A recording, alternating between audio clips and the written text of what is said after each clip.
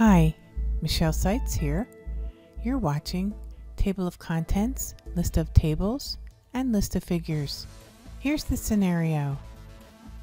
You have a document with numbered headings, some tables, and some figures. And you need to add a table of contents, list of tables, and list of figures. Watch this video to learn how to do this. If you watched the captions and heading numbering videos, you saw how we created captions and added heading numbering to our documents. This document is similar in that it contains numbered headings, tables, and figures.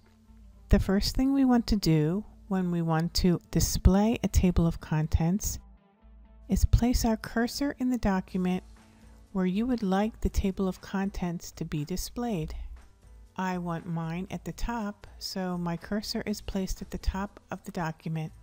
Now go to the References tab, and then the Table of Contents group, click the down arrow next to Table of Contents. As you can see, there are several built-in Table of Contents. If I clicked on one, it would automatically create a table of contents in my document. If I click in it and I need to update the table, I would click this button here and it would display the Update Table of Contents dialog box. It has two radio buttons, one to update the page numbers only and one to update the entire table, for instance, if you changed any text in your headings. There's also a drop down here where you can change the table of contents or you can remove the table of contents. I want to create a custom table of contents and I'll show you how to do that. Go back into the table of contents and near the bottom of the group select insert table of contents. Now the table of contents dialog box is displayed. In the print preview, there are four levels that will be displayed in our table of contents. If you need to adjust the number of levels, you would use these up and down arrows. If you want fewer levels, choose the bottom arrow. If you want more levels, choose the top arrow. There's also a show page numbers and right align page numbers. Since I want my page numbers to be displayed, and I also want them right aligned, I'm going to leave these check boxes checked. There's also a tab leader. It will display one of three types of leaders, a dot leader, a dash leader, or an underscore leader. I want a dot leader for my table of contents, so I will select the dot leader. There are also two buttons called Options and Modify. In the Options button, you can see that heading 1, 2, 3, and 4 have a check mark next to them, meaning those styles will be displayed in our table of contents. There is also a field called TOC level. You can see heading 1 has TOC level 1, heading 2 has TOC level 2, and so on. As you scroll down, you can see there are other styles available. Since there is a title in our document and I would like it to be displayed at level 1, I'll go in this field and I'll enter number 1. It adds a check mark next to the word title so I know the style's title will be included in my table of contents. After you have selected all the styles you want in the TOC, Click OK. Now we have the Modify button.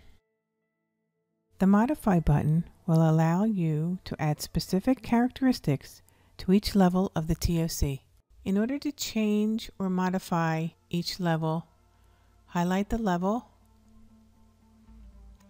select Modify. So in this TOC, I would like Times New Roman I would like my TOC number one to be 14 point. I would like it to be bold And I would like my font color to be automatic, which mine is black. I would also like to click on the Format button. And I want to go into the font. I want my level 1 TOC to be all caps. So I'll select all caps and say OK. I want to go into the paragraph and I want to adjust the spacing between my TOC levels. I would like three points before and I would like three points after. I would also like to have a hanging indent at 0.5 inches just in case I have a heading that wraps to the next line and I'll say OK and OK again. Now I want to modify TOC2. I want it to be Times New Roman 12 point but I want it to be bold. I'm going to leave it in automatic font color and I want to go into the paragraph. Again, I want three points before and three points after spacing. I would like to have all of my TOC levels left aligned so I will leave the indentation at zero. Again, I'm going to make it a hanging indent at 0.5 inches and I'm going to say OK. And OK again. Now we'll modify TOC3. Again, we want it bold and automatic. I also want it italicized. Go into Format, Paragraph. I want it flush left.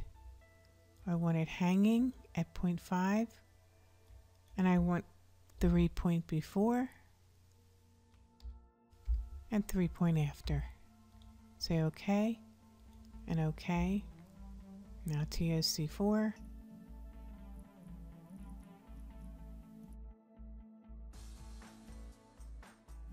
And when we're done with all the levels, we click OK.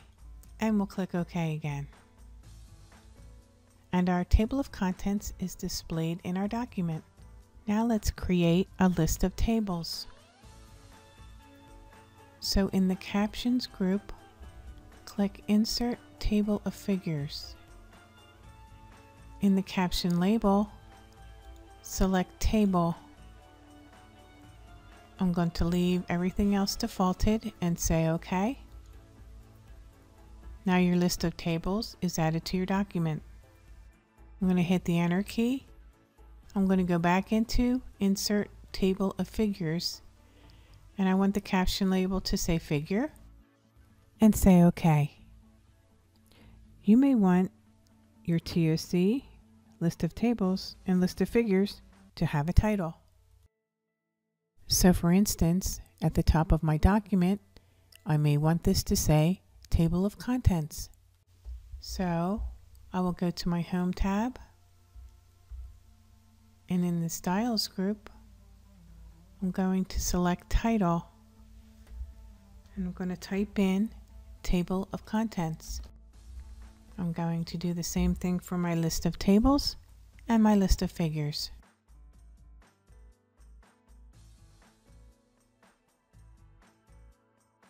Now when I go back into the table of contents, and I right click and say update field, say update entire table.